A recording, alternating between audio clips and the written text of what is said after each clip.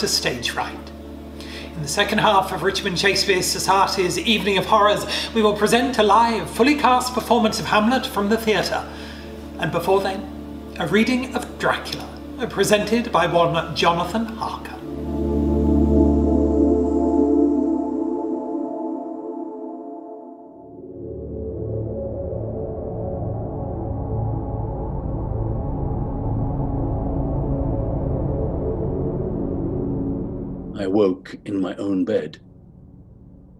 Upon opening my pocket watch, discovered that it was already late in the evening. Assuming I had not dreamt my ordeal with those terrible creatures in the night, the Count must have carried me back to my room and locked the door. The small cupboard felt now like a sort of sanctuary, for nothing could have been more dreadful than those women who lurked in the corridors waiting to suck my blood. Mere moments after I awoke, Dracula entered the room. He appeared younger, rejuvenated, and his accent less pronounced. Mr. Harker, I hope you had a good night's rest. Yes, Count, I. Actually, no. No, I'm afraid I, I didn't. I had a. I had a rather queer dream. A dream? More of a nightmare, I suppose. What did you dream of, Mr. Harker? There were these. these three women, clad in white. They had a strange aura to them, as if they were not. natural. This castle is old, Mr. Harker. It is full of the memories and ghosts of the dead. It is best not to dwell on these things. I Don't believe in ghosts, Count. I, I can't believe how late it is already. I must have slept through the day. I myself do the same often. Have you found my books yet? I am sure there is much that will interest you. These companions have been good friends to me ever since I conceived of going to London, and through them I have come to know your great England. To know her is to love her, or so I am told. I long to wander through the crowded streets of your mighty London, to share in the whirl and rush of humanity, its life, its change, its death, all that makes it what it is. But alas, I only know your tongue through these books. But, Count, your English is excellent. I thank you, my friend, for your all too flattering estimate, but yet I fear that I am but a little way on the road I would travel. True, I know the grammar and the words, but yet I know not how to speak them. Indeed, I think you speak very well. I think not so. I know that if I did move and speak in your London, all Englishmen would know me as a stranger. That is not enough for me. Here in Transylvania, I am noble. I am a master, and the common people know me. But as a stranger in a strange land, I would be no one. And I have been master here so long that I would be master still, with none other master of me. I know you come to me as an agent of Peter Hawkins, my friend, but I trust that you shall rest here with me in the castle a while, so that by our talking I may learn the English intonation. You must tell me when I make any error, even the smallest, in my speaking. Of course. You may go anywhere you wish in the castle, including my library, except where the doors are locked. There, of course, you may not go. We are in Transylvania, and Transylvania is not England. Our ways are not your ways, and to you there shall be many strange things. Although, from what you have told me of your dreams already, I think you understand something of these strange things. It is said that evil spirits stalk the Carpathians. Surely, evil spirits are not real. Like I say, Transylvania is not England. The Transylvanian fears the creatures of the night. He knows of ghosts, for there is hardly a foot of soil in all this region that has not been enriched by the blood of men, be them patriots or invaders. It is said that on summer mornings the sky turns red with the blood of the night's victims. I see.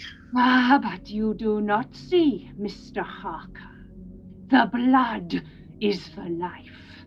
It courses through your veins. It fuels your body. It is a precious resource, unlike anything else in nature. Without it, you die.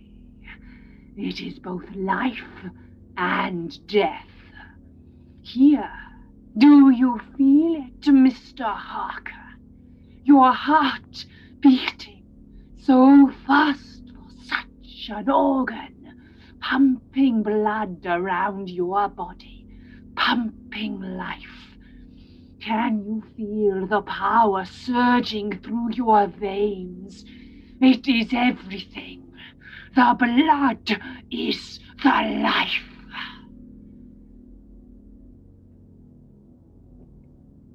But come, tell me of London and of the house which you have procured for me. Of course. Um, let me just uh, fetch these papers. Um, uh, yes. Uh, the uh, stage we have procured for you is called Carfax and is a very large, almost uh, medieval. Uh, there are but a very few buildings around it, one being a private lunatic asylum, although you needn't worry about that. I am sure I shall sleep soundly there. I am glad that this Carfax is so old and big. I myself am of an old family, and I know that a house cannot be made habitable in a day. We Transylvanian nobles have a great appreciation of history, and I shall be most comfortable in this new home. You look weary, Mr. Harker. I'm, I'm sure I shall be fine. You should go to bed. Of course. G- good night, Count. Sleep well, Mr. Harker. It is best not to dwell on nightmares. But I had not forgotten what I'd seen the brides clad in white. I started to wonder if it was a nightmare at all, or a strange apparition in Dracula's castle. I'd always been a rational man, but what I'd seen was unlike anything I'd ever heard of. I saw no more from the terrible spectres which haunted me on my first night there, but I did wander the castle day and night down its dark, cavernous corridors. What did I find? Doors. Doors everywhere, all locked and bolted. In no place save the windows was there an available exit in Castle Dracula. It was a veritable prison, and I was its prisoner. I thought of my dear Mina far away in England, awaiting my return. Oh, how I wished to run from that dreadful place, to find Mina and embrace her once more. Now I long to hear her sweet voice, to see her beautiful features once more. I soon realized that I had little chance of returning home. This man belongs to me. That's what he said. Dracula had plans for me, and my usefulness was not concluded yet. I was absolutely in his power. Time grew meaningless at Castle Dracula. Perhaps it was some days later, or perhaps some weeks after our conversation regarding Carfax Abbey. I saw yet another strange apparition from out of my bedroom window. Dracula, crawling down the castle wall, his cloak spread out around him like the wings of a great bat. I could not believe my eyes, but there he was. It was no trick, no illusion. I saw the fingers and toes grasp the corners of the stones, and the whole creature moved downwards with considerable speed, like a spider or a lizard. What manner of man is this, I thought? Or what manner of creature in semblance of a man? A few hours later, I awoke, not realizing I'd been sleeping, to a sound from the courtyard. The agonizing cry of a woman. I rushed to the window and, throwing it up, peered out of the bars. There indeed was a woman with disheveled hair, leaning against the corner of the gateway. Nosferatu! She called up at the castle. Nosferatu, I know you're there! When she saw my face at the window, she threw herself forward and shouted in a voice laden with menace Monster! Give me my child! She threw herself forward. I could not see her. I could hear the beating of her hands against the door. Somewhere, high overhead, I heard the voice of the Count calling out into the wilderness. His call seemed to be answered from far and wide by the howling of the wolves, and mere moments later, a pack of them poured into the courtyard before disappearing from my sight. The sounds, dear God, the sounds. The cry from that poor woman, the howling of the wolves, the laughter of the Count from high above. I covered my ears and prayed into the cold night, longing for morning to arrive. My mind was disturbed with memories of the night before when Dracula entered my room the following evening, holding several pieces of paper and a pen. Good evening, Mr. Harker. I trust that you slept well last night. I'm afraid not, Count. I had queer dreams, and I heard a disturbance in the castle. A disturbance? That is most unfortunate, Mr. Harker. This building is old and so full of ghosts. You must not let the dead keep you awake. Of course. I I had been meaning to speak to you, Count. My work seems complete here, and I'm sure that you shall have no trouble travelling to England by yourself. So I, I feel I must take my leave and return home. Of course. I, I beg your pardon? You must so wish to hear from your friends. It is a pity that none of them has written to you before now. You have been here some time. Feels like an eternity. You do exaggerate, Mr. Harker. But I appreciate your anxiety. You must write to your friends. Here, I have paper and a pen to hand. You must write three letters to send to our dear England. Three? Yes, three letters for three dates. We must keep your friends updated, must we not?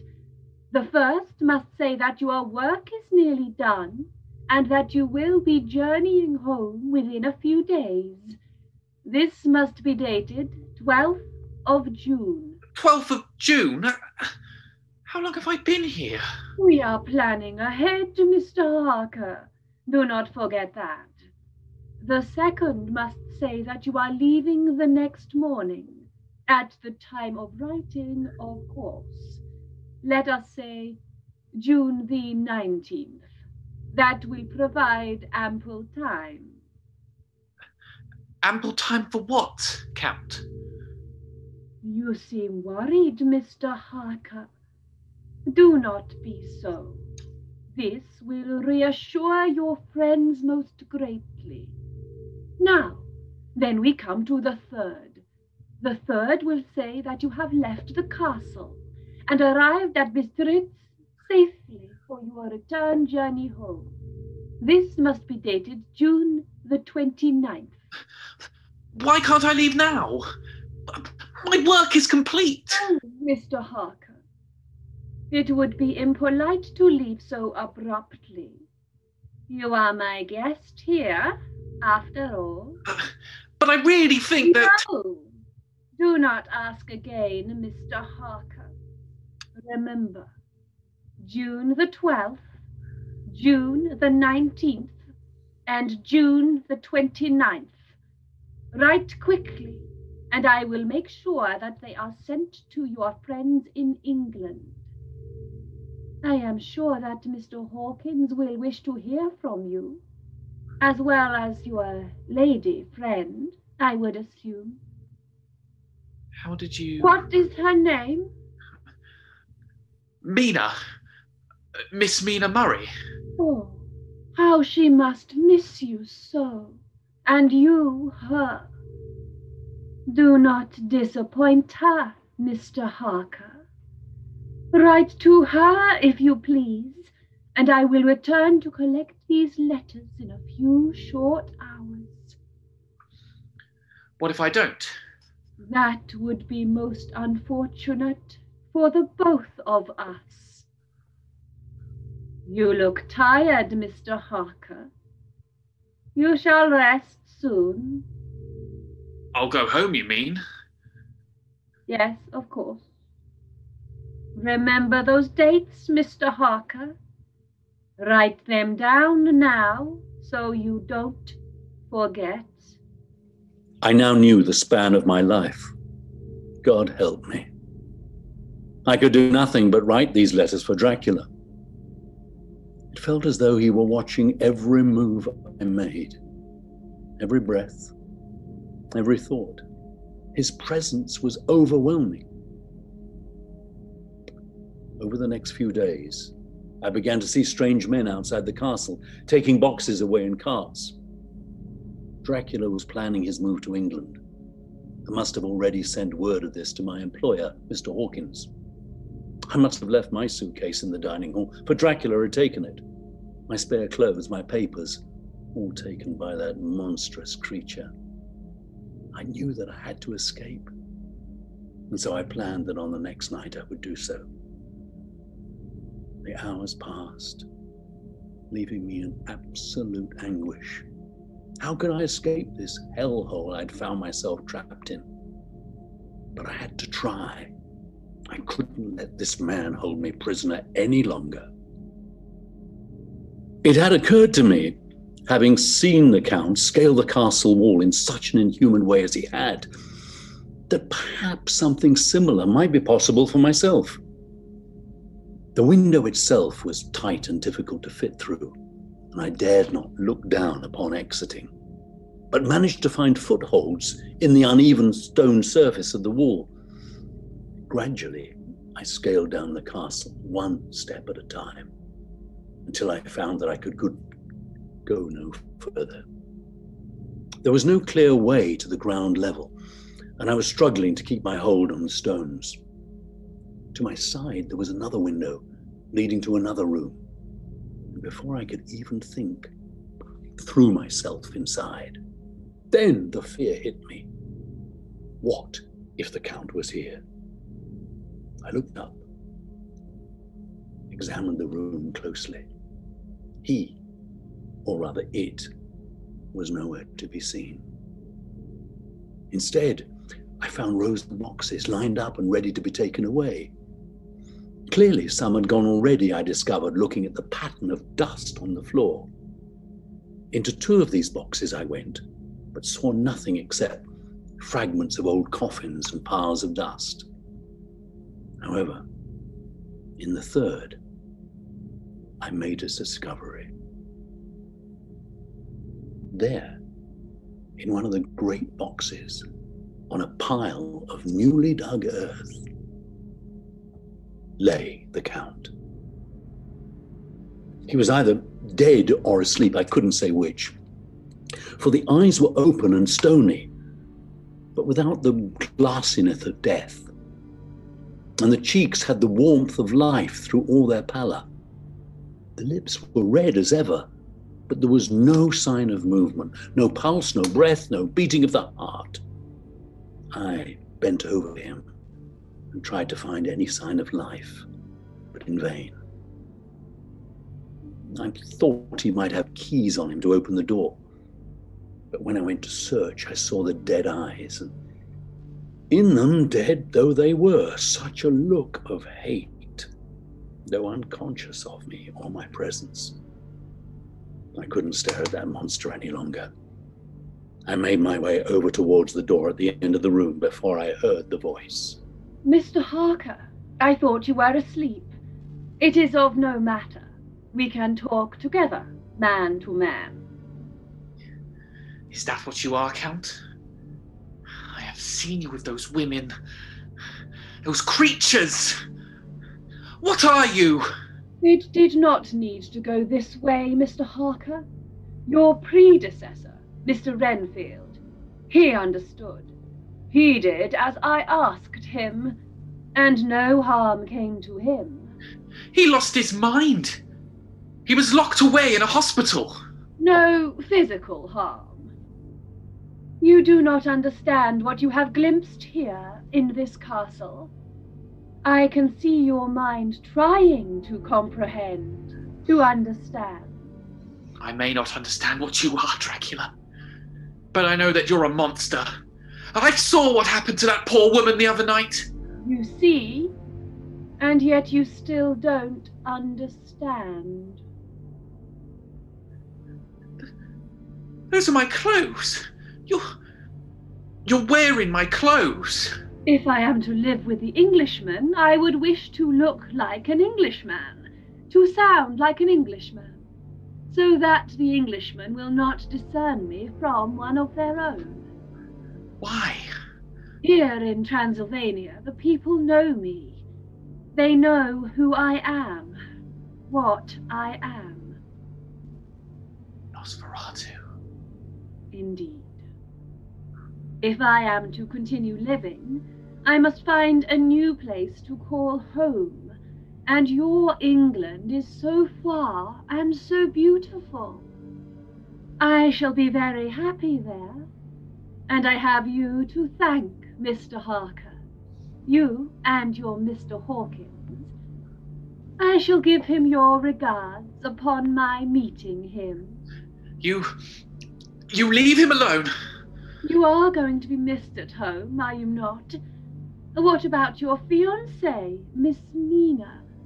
I would like to visit her while I am in England, to give her my condolences, and to help her through these difficult times. It is unfair to be widowed before marriage, but alas, these things are out of my control. Do not worry, Mr. Harker. Your letters shall be posted accordingly. I will make sure of that. Are you going to kill me? Kill you? No. I will not kill you. But if I am to leave my beautiful brides here in Transylvania, they will need something to eat.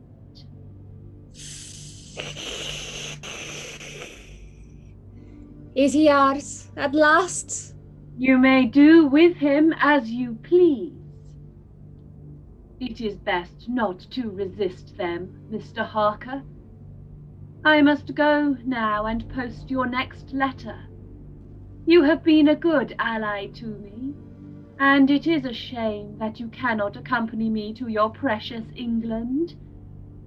I have great plans for her, and all in her bloodline. After all, the blood is the life. The The blood blood is is the the life. Goodbye, Mr. Harker. We shall not meet again. Please! No! No! No! And that is where our story ends for tonight. Dracula was making his way for England. I had no means of stopping him. The rest is quite remarkable. But alas, I don't have time this evening to continue. Perhaps one day you shall hear the rest. But until then, I thank you very much for listening, and I wish you all a very good evening.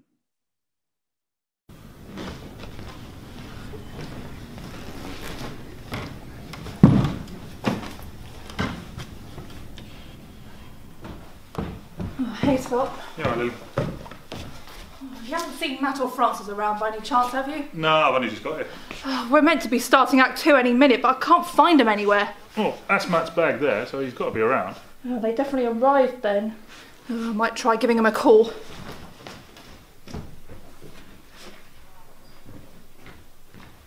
You alright, Gav? Yeah, not too bad. Oh, you haven't seen Francis or Matt around, have you? No, not today. Mm. You here for Hamlet? Yeah, I'm prompting. I'll just be in the corner. So, where did you want me for this bit? I think we'll just start off with you on the stage. Maybe here? Okay. And then we'll move Yeah. over to the Hamlet guys. Okay, and then um, just gonna ask this bit. Ah, okay, so that bit is in the bar. Okay, hi Scott. You alright, guys?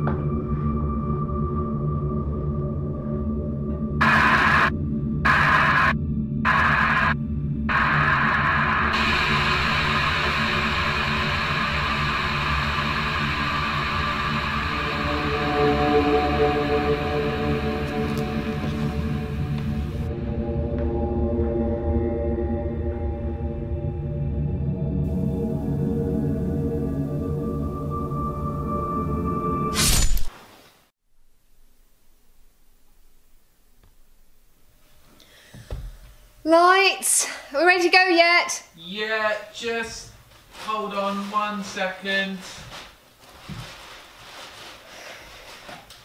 Right, yeah, good to go. Great! When you're ready.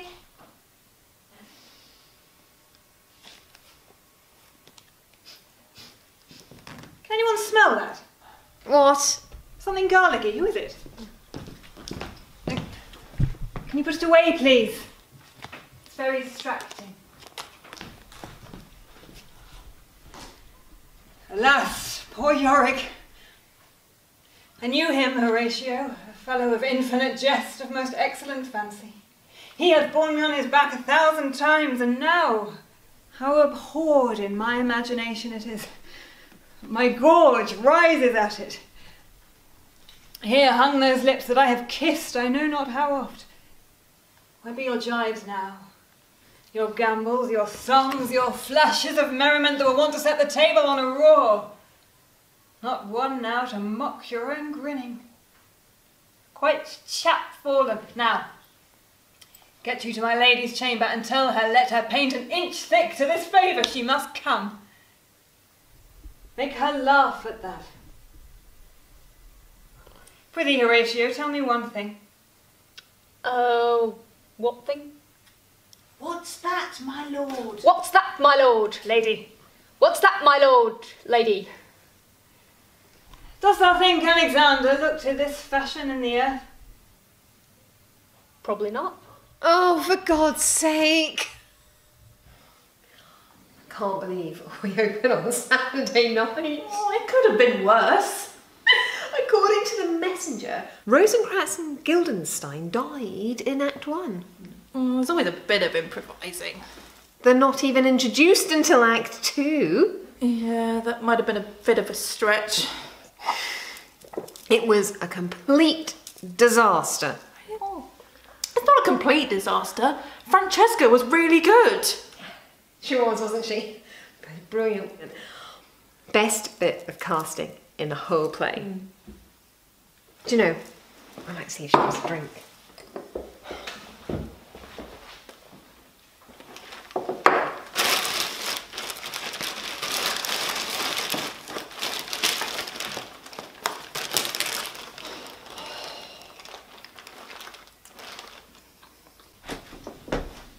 Hey.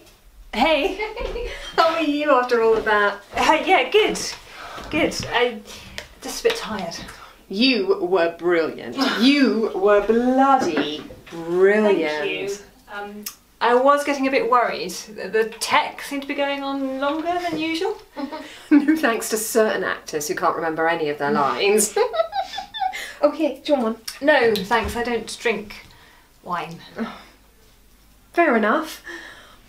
You know, I was so up for this show. The definitive Hamlet. The best Shakespeare the RSS has ever done. Frankly, it's been a complete nightmare. Most of the actors don't know any of their lines. You accepted, of course. The lighting, a complete mess. And Rosencrantz and Guildenstern died in Act One. yes, yes, that was a bit odd. they had to go on as ghosts in Act Two. I mean, what's going on with that? I'm sure it'll be all right on the night. I wouldn't stake my life on it. oh. You know, to be honest, I was a bit worried about you before today. Why? Well, you missed all the afternoon rehearsals. I mean, it was like you were allergic to sunlight or something. In fact, somebody was even joking that you were a vampire. Yes, um, I'm sorry. I just, I just been so busy. Oh no no no no no! I, I don't mean to moan. Oh gosh, is that the time? No wonder I'm shattered. I've got work tomorrow. That's weird. Maybe I've drunk too much. I haven't drunk enough. Oh no. It's a shame to lose you, but I've been so hungry recently. The show must go on. Thankfully, your part is over now. Try not to struggle. It Makes it harder to clean up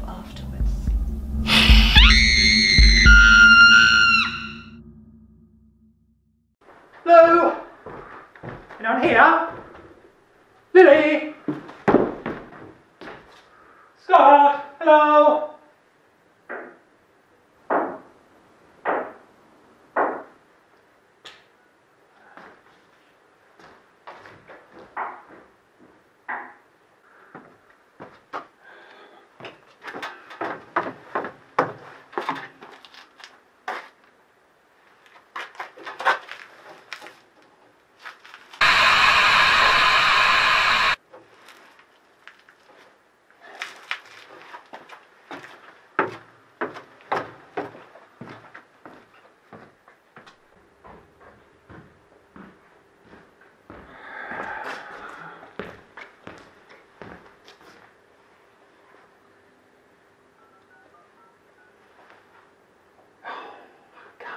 Lily.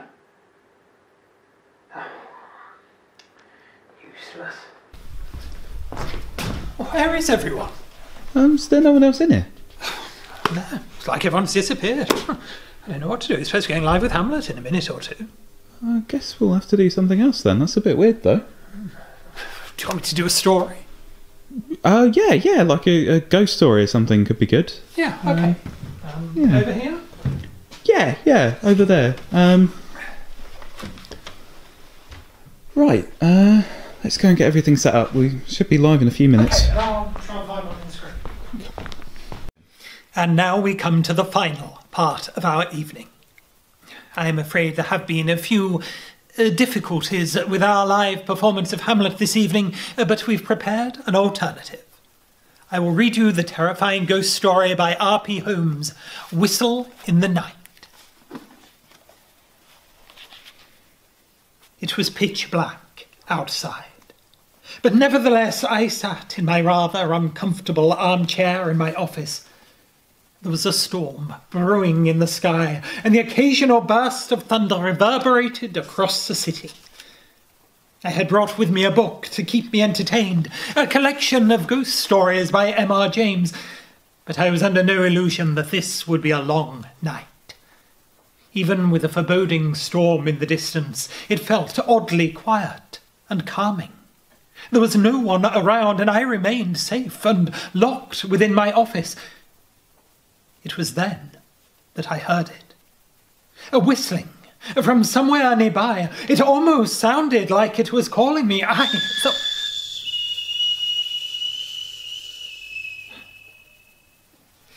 I thought nothing of the sound and returned to my book. Minutes passed, but I still couldn't get comfortable. The bitter wind outside had chilled my bones, and not even a fire could have warmed them.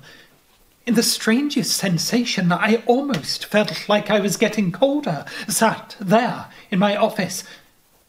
And then I heard it again the whistling. I'm sorry, everyone, I keep getting distracted by something. Can you hear that? I'm just going to check what's here. Are you coming with me? Come on then.